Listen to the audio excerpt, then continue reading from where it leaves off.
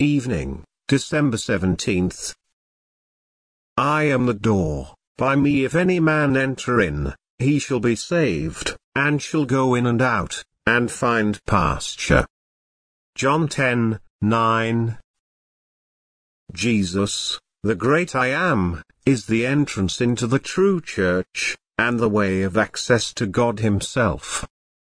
He gives to the man who comes to God by him four choice privileges. 1. He shall be saved. The fugitive manslayer passed the gate of the city of refuge, and was safe. Noah entered the door of the ark, and was secure. None can be lost who take Jesus as the door of faith to their souls. Entrance through Jesus into peace is the guarantee of entrance by the same door into heaven. Jesus is the only door, an open door, a wide door, a safe door, and blessed is he who rests all his hope of admission to glory upon the crucified Redeemer. 2. He shall go in. He shall be privileged to go in among the divine family, sharing the children's bread, and participating in all their honors and enjoyments.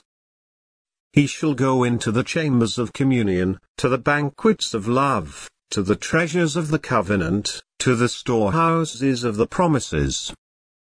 He shall go in unto the King of kings in the power of the Holy Spirit, and the secret of the Lord shall be with him. 3. He shall go out. This blessing is much forgotten, we go out into the world to labor and suffer, but what a mercy to go in the name and power of Jesus.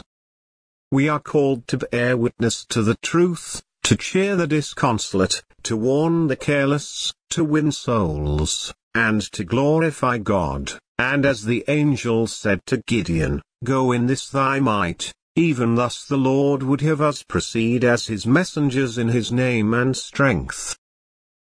4. He shall find pasture. He who knows Jesus shall never want. Going in and out shall be alike helpful to him, in fellowship with God he shall grow, and in watering others he shall be watered. Having made Jesus his all, he shall find all in Jesus. His soul shall be as a watered garden, and as a well of water whose waters fail not.